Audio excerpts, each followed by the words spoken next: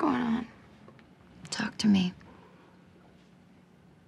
What happened? What did they do to you?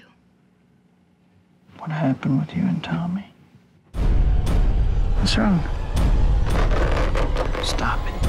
Yeah, it was really heartbreaking, uh, particularly to think about, you know, real life situations when people are, when people are having trouble with what's going on with their reality, with um, you know, living in sort of paranoia and not being able to relate, and uh, you know, taking it out on the people you love.